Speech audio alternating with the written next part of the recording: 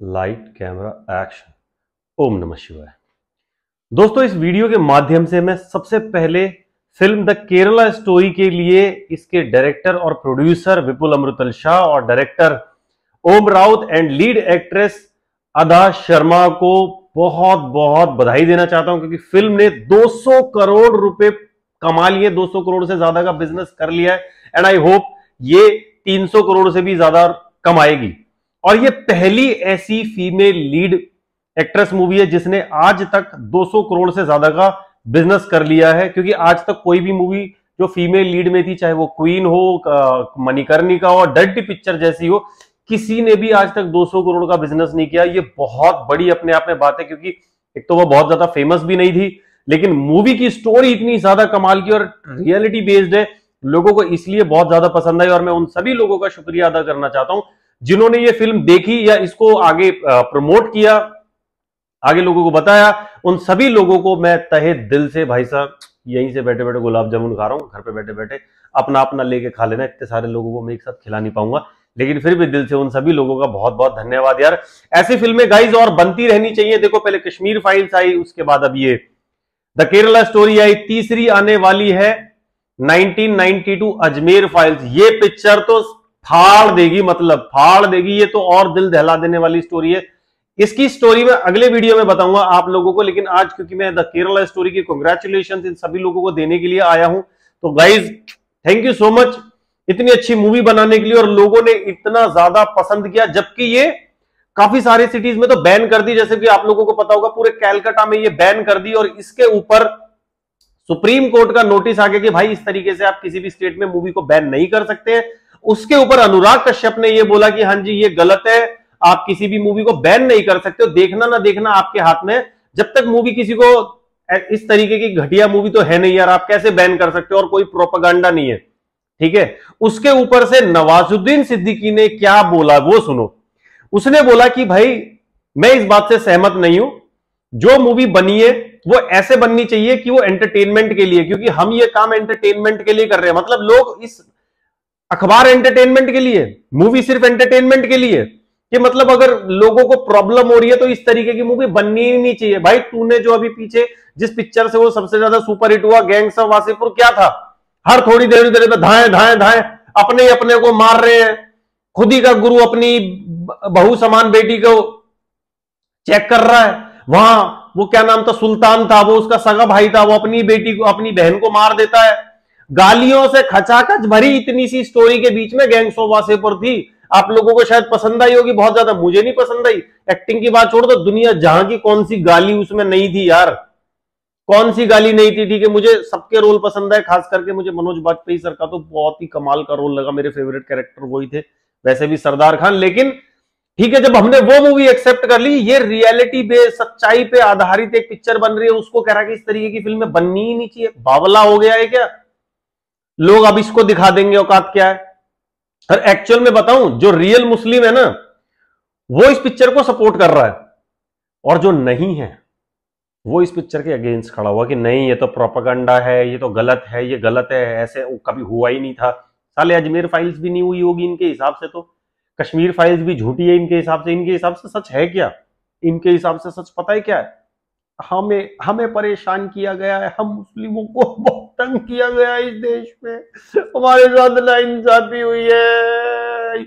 ही ये इनका are are चल रहा आर रोना चल रहा है। क्योंकि ये लोग चाहते ही नहीं थे कि इस तरीके की कोई भी मूवी बने और वो इस देश में लोगों की आँखें खोले, लोगों को जागरूक करे। तो जितने भी वैसे तो मुझे पता है मूवी मैक्सिमम जो है सनातनियों ने ही देखी है तो उन सभी सनातनियों का तहे दिल से धन्यवाद भाई। ऐसी मूवी आप लोगों को पसंद आई और जिन्होंने नहीं देखी प्लीज़ आप लोग भी जाके देखिए। फ़िल्म ने 200 करोड़ कमा लिया। यार, कोई साला सुपर हिट खान नहीं है इसमें। कोई बड़ा एक्टर नहीं, ना ऋतिक, ना अक्षय, ना भक्षय, ना कोई भी नहीं है। एक ऐसी एक्टर है जो इतनी ज़्यादा फ़ेमस भी नहीं थी, फिर भी उसकी पिक्चर अगर 200 करोड़ क्रॉस कर जाती है तो सोचने वाली बात है गाइस सोचने वाली बात है, ये मूवी आप लोगों को देखनी चाहिए क्योंकि एक बहुत बड़ा लेसन है, जो आप अपने बच्चों को सनातन धर्म के बारे में तालीम नहीं देते हो, उनको नहीं सिखाते हो, ये आप लोगों की गलती है।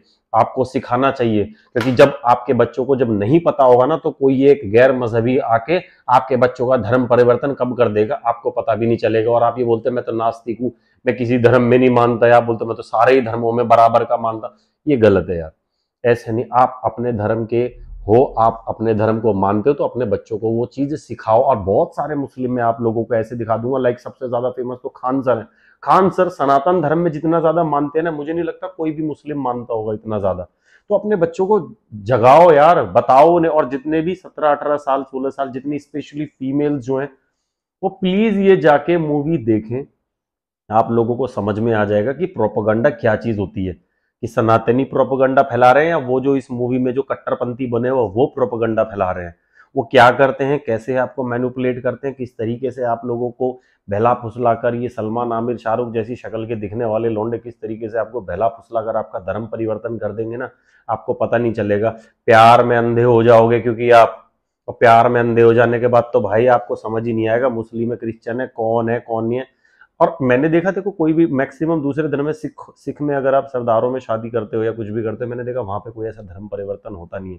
जहाँ तक मैं जानता हूँ, अगर कोई एक मुस्लिम लड़की भी अगर हिंदू परिवार में अगर शादी करती है तो उसका धर्म परिवर्तन नहीं किया जाता। लेकिन अगर कोई हिंदू लड़का भी मुस्लिम लड़की से शादी करता है तो उसका धर्म परिवर्तन किया जाता है। ये मैंने सामने से देखी बात है भाई, मैं इसको जुटला नहीं सकता। मैंने सामने से देखी, मुस्लिम लड़की का धर्म परिवर्तन नहीं किया गया जब वो हिंदू परिवार में आती, लेकिन हिंदू लड़के का धर्म परिवर्तन किया वो लड़के भी खुशी खुशी कर लेते हैं, प्यार में इतने बावले हो चुके, अपना धर्म परिवर्तन कर लेंगे, उसको नहीं पूछ रहे, भाई, तू भी तो कर ले फिर। मेरे से करवाए जा रहा, तू क्यों नहीं कर रहा है? लड़के का भी किया जाता है, लड़की का भी किया जाता है, तभी आप उस दूसरे मज़हब में शादी कर सकते हो, वरना नहीं कर सकते हो। और लड़का हो, चाहे लड़की हो, साले प्यार में इतने पागल हो रखे हो तो उनको समझ ही नहीं आता, वो खुद अपना धर्म परिवर्तन कर लेते। चलो, बहुत सारे लोग सुखी सुखी रह भी रहे होंगे, मैं इस चीज़ को नहीं कह रहा हूँ।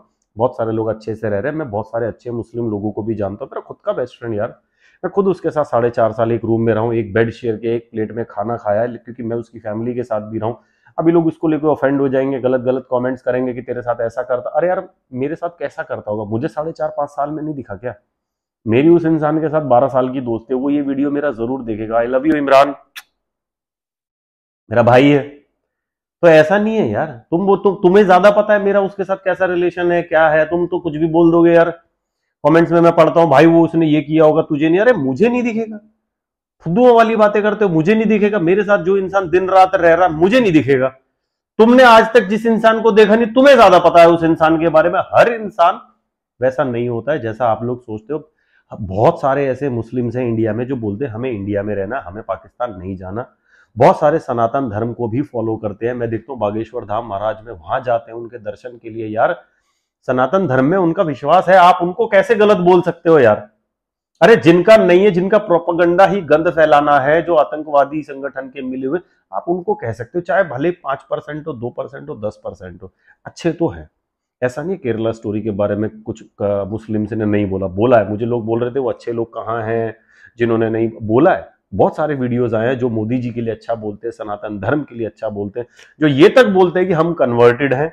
अब हम इसको फॉलो कर रहे हैं। हमारे दादा के टाइम के कन्वर्टेड लोग हैं तो हम कन्वर्ट हो गए थे तो अब हम इसको फॉलो कर रहे हैं। लेकिन हम सनातन धर्म में भी विश्वास करते हैं।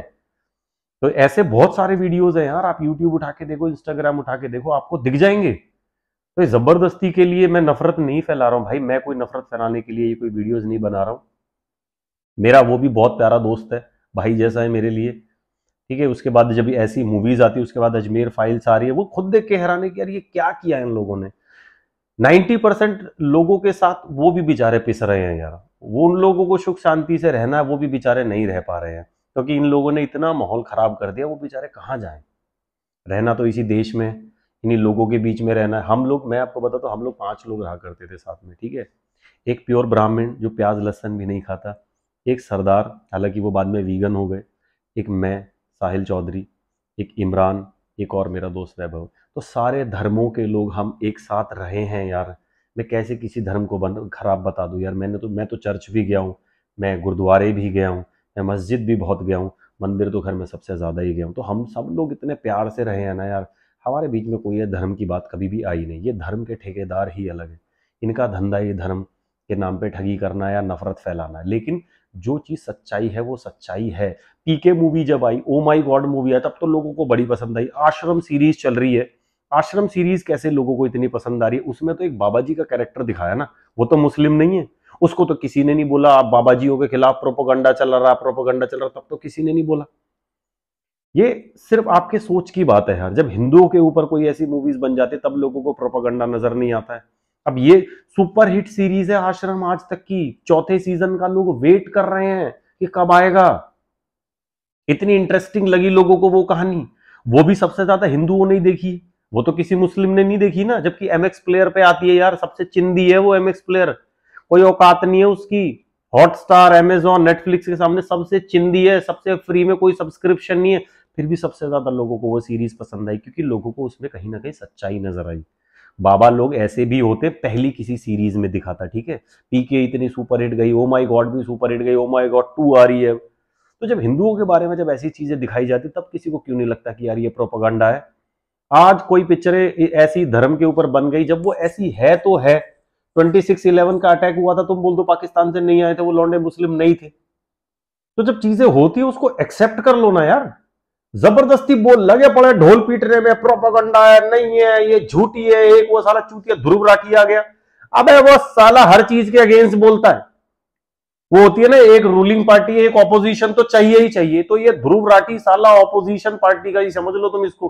कोई भी अच्छी चीज़ हो रही हो, ये साला उल्टा बोलने लग जाएगा कि नहीं, ऐसा तो नहीं हुआ था। तो भाई, हर तरह के लोग हैं यार। पॉजिटिविटी फैलाने वाले भी मिल जाएँगे, आपको नेगेटिविटी फैलाने वाले भी मिल जाएँगे। तो वो आपके ऊपर, आप क्या सच मानते हो? आप जाओ, जाके ये मूवी देखो, पहले डिटेल्स चेक करो, उसके बाद समझना यार ये प्रोपोगंडा है या नहीं है। मैक्सिमम तो मैंने देखा भाई खाली वो कट्टरपंथी टाइप के लोग या मुस्लिम ही हैं जो शायद इस तरीके की फ़िल्म को गलत बताएँ। या तुम्हारे घर में बहन बेटी अगर होगी ना तुमको ये पिक्चर गलत नहीं लगेगी। इसलिए मेरी रिक्वेस्ट है, जिन भी लोगों ने मूवी नहीं देखी है, आप जाओ, जाके मूवी देखो तो शायद आपकी आँखें खुल जाएँगी।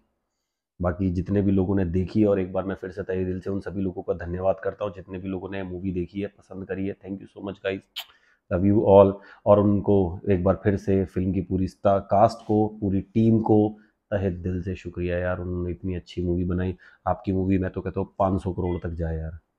लव यू ऑल अपना ख्याल रखें। ओम नमः शिवाय।